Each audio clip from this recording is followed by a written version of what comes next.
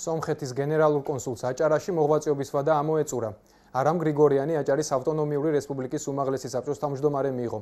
გამოსამშვიდობებელ ვიზიტზე კონსულის ბათუმში მოღვაწეობის პერიოდი შეაფასეს და ორ ქვეყანას შორის არსებულ ურთიერთობებზე ისაუბრეს. შეხვედრაზე მომავალი თანამშრომლობის პერსპექტივებიც დაისახა. ავთანდილ ბერიძემ და არამ გრიგორიანმა სამახსოვრო საჩუქრებიც გაცვალეს.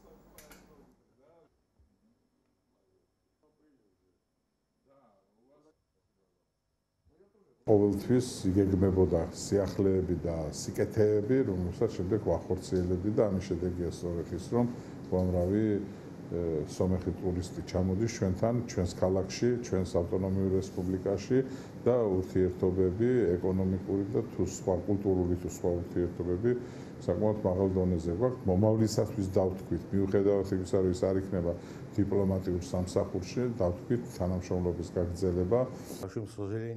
ძალიან მწუხვა რომ ტოვებ ამ შვენიან მხარეს. სამ წელზე მეტი დრო გავატარე აქ და ეს არ იყო მხოლოდ სამსახური. ეს იყო ჩვენ შორის მეგობრობის და პატივისცემის წლები. მე და ჩემო ოჯახმა აქ დაუწყარი დრო გავატარეთ. ძალიან מחარებს ის, რომ მალე მოწესრიგდება ხულვადიგენის გზა და ბევრი სომეხი ტურისტი დაუბრკოლებლივ შეძლებს დაათვალიეროს ეს საუცხოო კუთხე.